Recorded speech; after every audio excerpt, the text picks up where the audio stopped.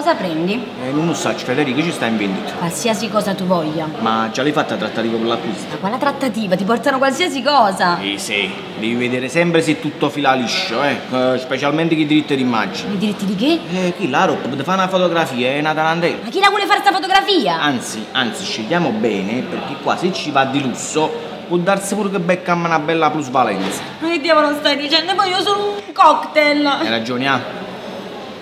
Non portiamola per le lunghe. Meno male. Ma ci sta qualcosa con la clausola rescissoria?